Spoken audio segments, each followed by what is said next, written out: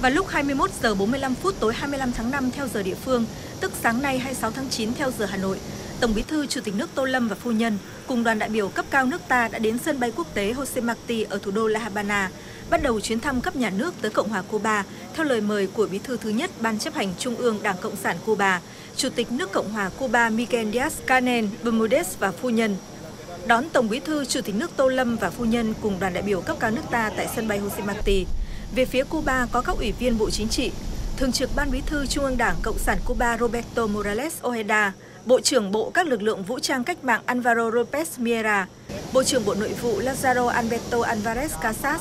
trưởng Ban Đối ngoại Trung ương Đảng Cộng sản Cuba Emilio Lozada Garcia. Về phía Việt Nam có Đại sứ Việt Nam tại Cuba Nguyễn Hoàng Long và cán bộ đại sứ quán.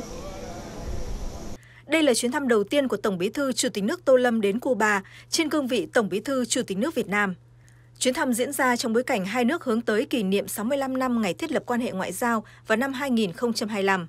Chuyến thăm là minh chứng khẳng định mối quan hệ đoàn kết truyền thống, hữu nghị đặc biệt Việt Nam-Cuba đã và vẫn luôn được coi là tài sản quý báu, được Đảng, Nhà nước và nhân dân hai nước hết sức vun đắp, đồng thời thể hiện sự coi trọng cao của Việt Nam đối với Cuba và vị trí của Cuba trong chính sách đối ngoại của Việt Nam.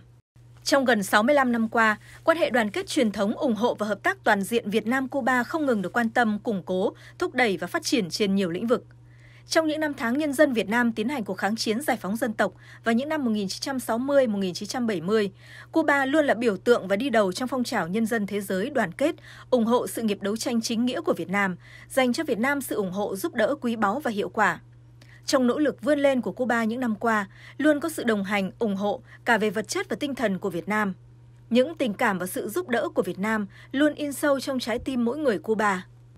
Chuyến thăm cấp nhà nước của Tổng Bí thư Chủ tịch nước Tô Lâm đến Cuba lần này tiếp tục là một minh chứng rõ nét về độ tin cậy chính trị ở mức cao nhất, về quyết tâm của chính phủ và nhân dân hai nước trong việc không ngừng củng cố mối quan hệ hữu nghị đặc biệt mà Chủ tịch Hồ Chí Minh và Tổng tư lệnh Fidel Castro đã dày công vun đắp. Mối quan hệ mà lãnh đạo hai đảng, hai nhà nước đã nhiều lần nhấn mạnh đó là biểu tượng của thời đại.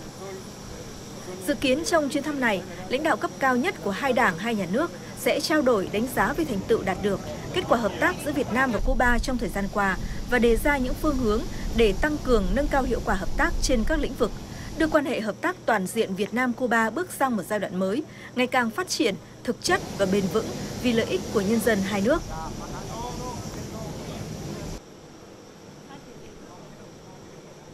마지막.